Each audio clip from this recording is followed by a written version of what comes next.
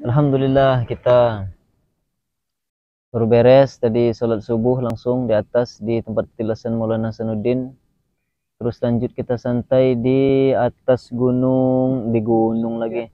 Di Batu Kebayan. Kalau nggak salah ini Batu Kebayan. Kita ngopi di sini nyantai di sini bersama Bos Buhari ini orangnya lagi ngopi dia Masya Allah, Masya Allah di sini pemandangnya sangat luar biasa. Terus kita setelah di sini mau ke hampir di petilasan Presiden RI Soekarno. Di sini atas ada ada batu di situ. Terus kita akan lanjut di petilasan Syekh Syarif. Namanya batu azan di sana ya. Terus kita lanjut ke batu di sana. Di paling puncak ya mungkin terjam jam setengah delapan lah.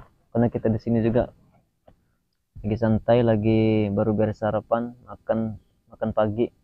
Memang kita ini manusia manusia malam semua. Jadi jarang-jarang sarapan pagi itu.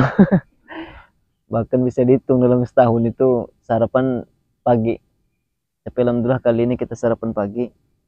Sambil ngopi ngelihat gunung. Muncung di situ ada wali sembilan kalau nggak salah sembilan apa sebelas di situ ada makam di ujung itu ya.